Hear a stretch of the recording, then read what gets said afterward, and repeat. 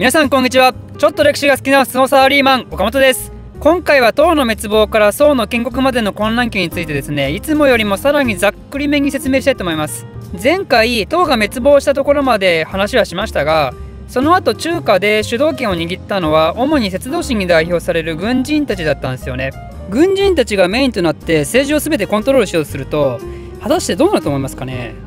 これね全然国が安定しないんですよね。もう彼らはね結構盛んすぎるんですよ。まあ、古代ローマの軍人皇帝時代もやっぱり超不安定だったから、まあ、それと同じようなもんですよね。この人たちは自分が権力を握ってそしてその政権を支えていくためには1に暴力2に暴力そしてやっぱり最後は暴力みたいなそんな考え方の人たちだから全く安定せずにね、まあ、数代で滅亡してしまう超短命王朝の攻防がこの後繰り返されるわけですよ。この唐と宋の間の時期にはですね河北に高陵高東高新高官高州の順に5つの王朝建国されてまたその周辺にはですね大体10国できるからこの時代のことを5代10国と言います、まあ、正直これらの国は中国史の全体として見たらマジでどうでもいいぐらいのクソ雑魚王朝たちなんでざっくり中国史のテーマということもあるんでこれらの王朝には特に深くは触れません。ただその中でも一つだけ今後数世紀にかけて漢民族の運命を悪い方向に導いてしまうドアホなことをですねした人物はこの時代にいるんでそいつだけ紹介したいと思います。そいつの名を赤系統と言います。こいつはもともと高等の武将だったんですけど国を裏切って鼻を起こして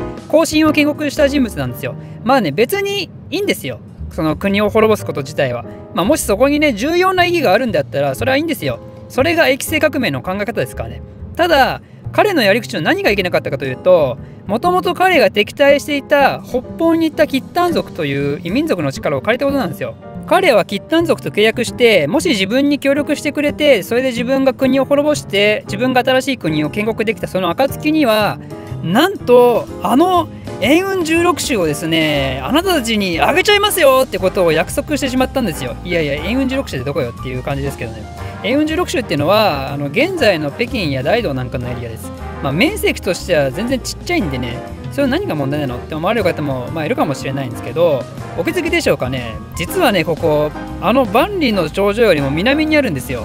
万里の長城って秦の時代からありますけどそもそも役割は何でしたっけね？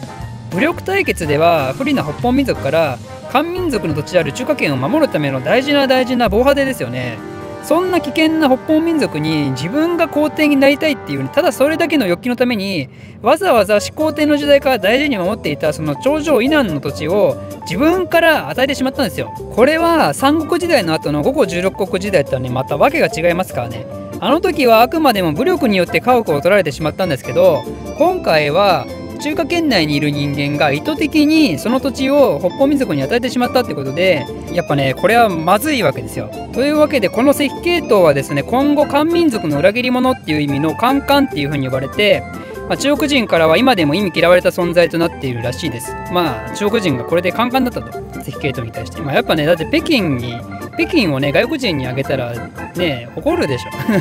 怒るでしょってことで中国人カンカンだからこいつはカンカンだってことでえちなみに肝心がですねこの円運16州を異民族から取り返すまでこの後なんと約400年かかります。まあそのぐらい彼は罪深いことをしてしまったわけですよね。まあついでなんで言いますけど円運16州が切ったに取られたのは936年です。なので私はこの年号をですね円運936州っていうまあわけわからん感じで 覚えてました。まあでもまあ16週と936週で韻踏んでるねってことで、えー、覚えたい方は好きなように覚えてください。で、えー、その後時代の流れでですね五代の最後の王朝である甲州には清宗という五代王朝の中でも随一の名君がいました一応こんな時代でも優れた人はいたようですねでその清宗はこの円運16州奪還に向けて動くわけですけどそんな中で清掃に目をかけられた人物が張教員という軍人です。張教員は優れた才学を持っててで清掃の下でめきめき出世するんですけどだけどいよいよこれから北方民族も倒してで中華も統一するぞっていう時に